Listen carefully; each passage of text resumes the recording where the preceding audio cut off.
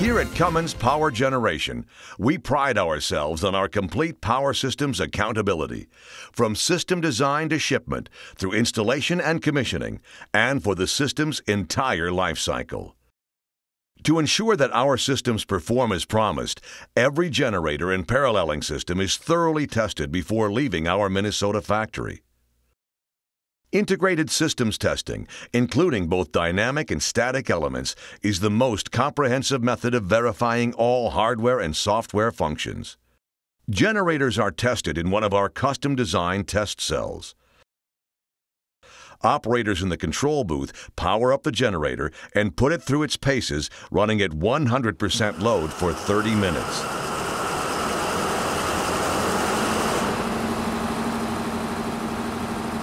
Meanwhile, the paralleling system is tested using a realistic simulation of how the generators and paralleling system will function after commissioning. A customized test plan is included in the engineering documentation. Because we manufacture the power command controls for the generators, the paralleling system, and the transfer switches, our engineers understand what's required to validate every function and sequence of operation. Before testing, the entire system is assembled by making hundreds of connections between the digital master control, the switchgear, and the generator simulators. Testing all connections at the factory minimizes field installation time. Using power command simulators identical to the generator controls, this virtual system mimics the installed system's operation and function. Before testing begins, technicians load all programs and input all of the settings, configuring the system precisely as specified. After the hardware is connected and the settings are entered, technicians systematically proceed with testing, referring to an extensive checklist of tests to be performed.